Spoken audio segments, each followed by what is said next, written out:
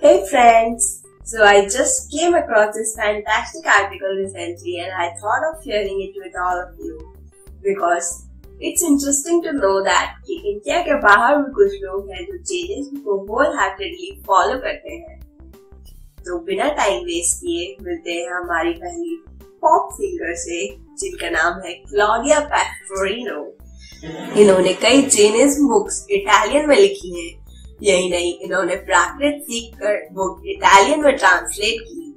ये pure vegetarian होने के साथ साथ एनिमल फाइटर भी है। तो अब उड़ान भरते हैं फ्रांस की ओर और मिलते हैं पियरी एंगल से। इन्होंने तत्वार्थ सूत्र नियम सार और समय सार जैसी बुक्स को फ्रेंच में ट्रांसलेट किया। इनकी जैनिज्म की रुचि इससे साफ़ दिखाई देती है कि ये आज भी जैनिज्म पर सेमिनार्स लेते तो अब चलते हैं फ़िल्म इंडस्ट्री की ओर और, मिलते हैं अमेरिकन ओरिजिन के डॉक्टर मिशेल टोबिया से जिन्होंने अहिंसा नॉन वायलेंस नाम की डॉक्यूमेंट्री फ़िल्म बनाई which was released all over the United States and appreciated on a large scale.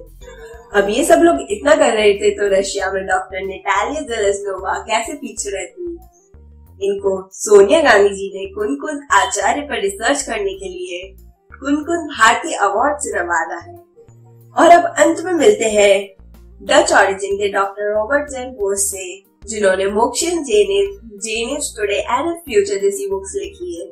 सुनने में आया है कि ये श्रवण बेल गोला भी बहुत बार विज़िट करते हैं। तो क्या पता आपकी भी कभी इनसे मुलाकात हो जाए। यही नहीं, और भी बहुत नॉन इंडियन ओरिजिन के जेन्स हैं जो होल हार्टेडली जेनिस को आज भी फॉलो करते हैं। यहाँ पर सोचने की बात यह है कि जब ये परदेशी हमारे धर्म और उनके सिद्धांतों को समझकर उनसे दूर न रह पाई तो हम अपने ही देश में, अपने ही धर्म के सिद्धांतों से दूर क्यों भाग रहे हैं? मैं Jain news view dot com वालों को बहुत बहुत थैंक यू बोलना चाहूँगी, जिन्होंने हमारे साथ ये इन्फॉर्मेशन शेयर की और हमें इंस्पायर किया। अब चलती हूँ।